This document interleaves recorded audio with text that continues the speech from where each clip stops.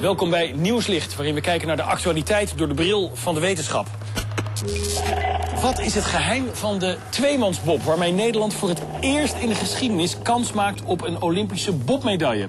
A world-class bobslayer, the first time of asking, and that is just incredible. Eerst naar de Olympische Spelen. Dit weekend beginnen in Vancouver de bobsleewedstrijden. Vanmorgen werden we opgeschrikt door de crash van de Nederlandse tweemansbob. Gelukkig bleven bemanning en uh, bobslee ongedeerd. Dus we maken nog steeds kans op onze allereerste Olympische bobsleemedaille. Maar wat is het geheim van die supersnelle, nieuwe Nederlandse tweemansbob? Menno heeft veel sporten beoefend, maar dit is de eerste keer dat hij in een bobslee stapt. Klaar? Oké. En... En dat doet hij met niemand minder dan oud-bobsleer Arend Glas. Tijdens uh, de wereldbekerwedstrijd in St. Moritz in januari... zetten twee Nederlandse bobsleers de bobsleewereld op zijn kop. Edwin van Kalker en Sibir Jansma werden in hun tweemansbob derde. Was nog nooit vertoond.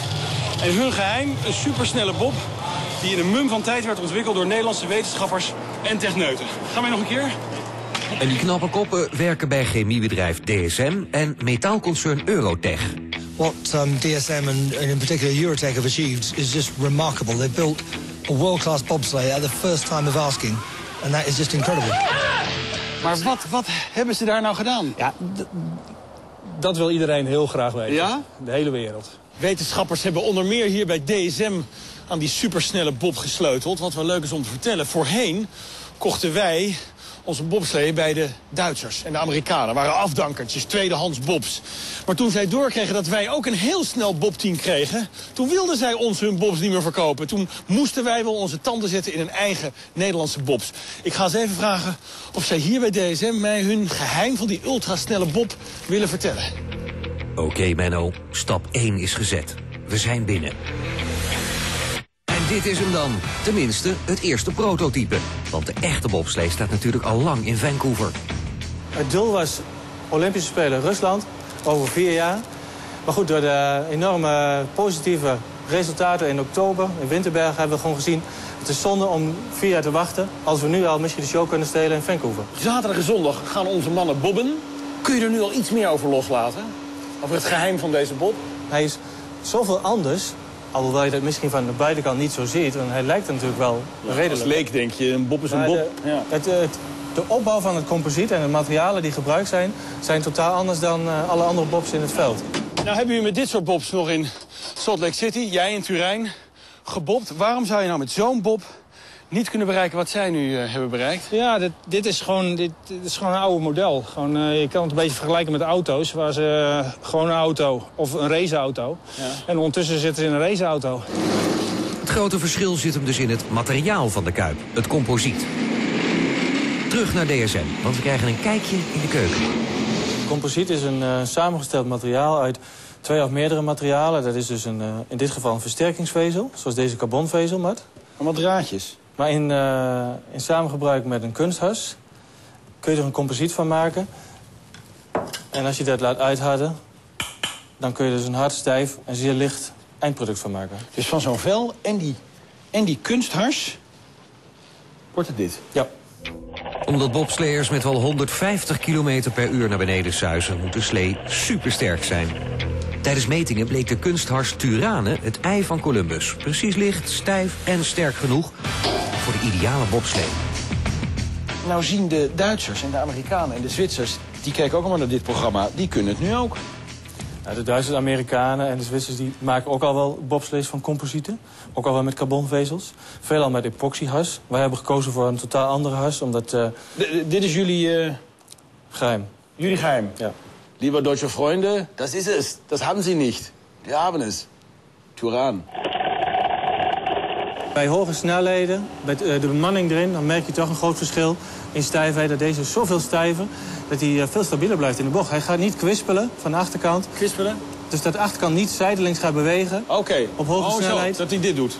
Dus de hele bob blijft gewoon veel stabieler en daardoor veel rustiger. Maar nou vertel je dingen die, die, die de Duitsers en Zwitsers en rustig al 30 jaar weten. Die weten toch ook dat hij, hoe stijver, hoe lekkerder die er omlaag gaat? Hoe kan het dan dat jullie dat nu opeens uitvinden? We hebben de, de andere bobs geanalyseerd en we hebben gezien dat eigenlijk iedereen heeft een chassis, een stalen chassis. En daar heeft men een kuipje omheen gebouwd voor de wind en om in te zitten. En wij hebben de kouling, het kunststofgedeelte... Dat, is, dit, dat heet dit, dit Ja. is kouling, hè? Ja? Dit- Dat is het composiet. Hebben wij zo stijf gemaakt dat we dat ook een functie hebben gegeven om het chassis te helpen de zaak rustig te houden. Dus de, meeste bobs die, die gaan eh, naar beneden. Als je daar langs de baan staat, dan is het net of je een grote rammelkast naar beneden hoort suizen. Zoveel lawaai en trilling en beweging zit erin. Dus deze is heel stijf om stabiel naar beneden te gaan. Maar daarnaast kan ook goed trilling absorberen. En hierbij had je die vibraties wel. Nou ja, je, dat, niet dat je dat nou direct heel erg merkt, maar je merkt wel in de tijd. En Ja. eh, op een gegeven moment is het natuurlijk heel erg belangrijk om gewoon continu stabiel contact met het ijs te houden. want- omdat je daar je versnelling eh, vandaan Ja, haalt. dat geldt seconden, tienden? Nou, dat scheelt zeker.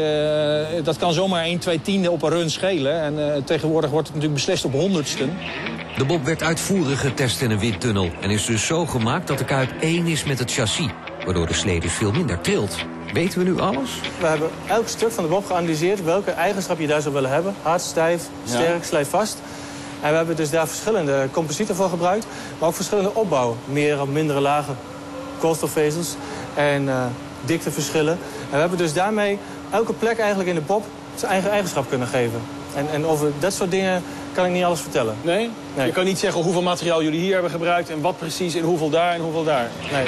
Maar we weten nu toch dat de Kuip een soort lappendeken is. Elk stukje is anders. En eh, hoe zit het met de aerodynamica?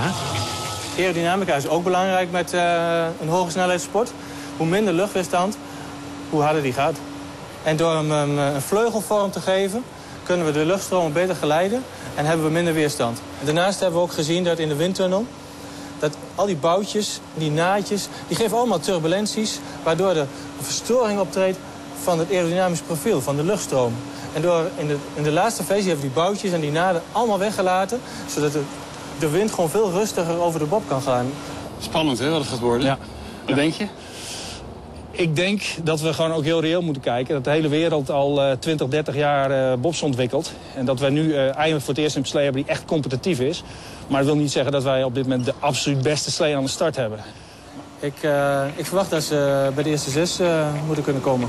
Ja. Met, eh, als het mee zit, een podium. En dan gaat hier de champagne open? Dan gaat hier de champagne Ja. open. Kijk, dit is de bobslee van de huidige bobsleekampioen, de Duitser André Lange. Die heeft inderdaad meer naden en dat zou een paar honderdste kunnen schelen... en misschien wel Nederland een medaille kunnen bezorgen. Ik zeg, jongens, zet hem op.